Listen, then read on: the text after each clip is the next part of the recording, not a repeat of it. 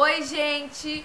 Hoje eu vou ensinar vocês como impermeabilizar uma parede. Porque geralmente quando chove tem casas que passa umidade para o lado de dentro.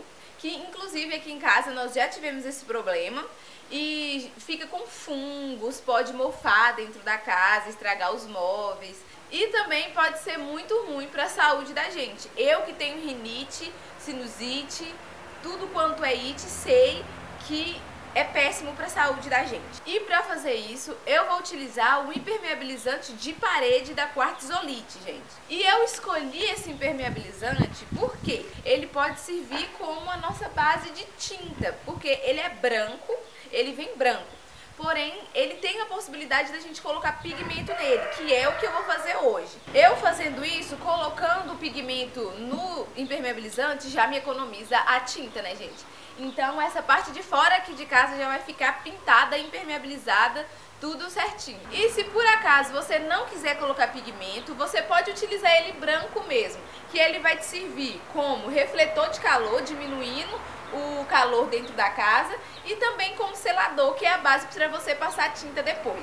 E a tinta que você for utilizar tem que ser a base de água, tá? Lembrando, gente, que ele não é indicado para lajes e terraços. Para esse tipo de área é outro tipo de impermeabilizante que eu vou mostrar para vocês depois. Então vamos para o passo a passo de como passar o impermeabilizante e já se inscreve aqui no canal, deixa o seu like e me segue nas redes sociais, gente. Me segue lá que tem várias novidades, coisas que vocês não encontram por aqui. Então segue lá e vambora! Gente, o impermeabilizante já vem pronto para aplicação, mas eu vou colocar o pigmento porque eu quero dar cor. A quantidade de pigmento vai depender da cor que você quer. Eu tô mexendo com o misturador, mas você pode mexer manualmente também, não tem problema. Depois é só iniciar a aplicação. É como se você estivesse passando tinta normal. Agora eu tô aplicando a primeira demão e nos cantinhos de baixo, onde eu deixei espaço, depois é só passar com pincel que fica tudo certo. Eu tô utilizando um rolo de lã mesmo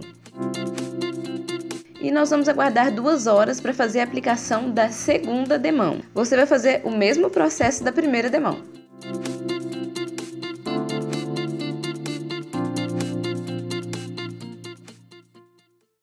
É isso aí, gente. Esse é o resultado do impermeabilizante de parede da quartzolite. Agora a nossa parede já está protegida e não corre o risco de entrar umidade para dentro da casa.